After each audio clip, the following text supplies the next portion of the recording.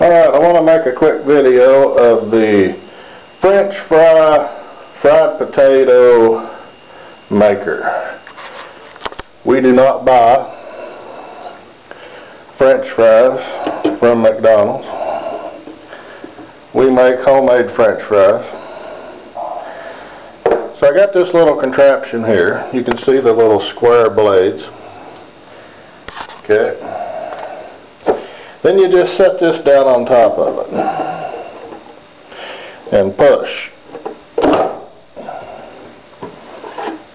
Take it back off.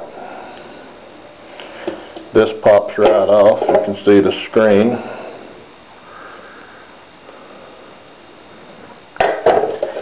And you have perfectly squared off french fries or fried potatoes, whatever you desire.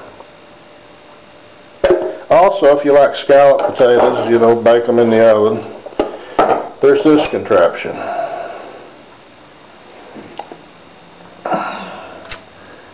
You can see the blade. So you put your potato in there like this, and uh, it'll slice them flat. You can put bacon and cheese on them, uh, whatever you desire. Also, grapeseed oil.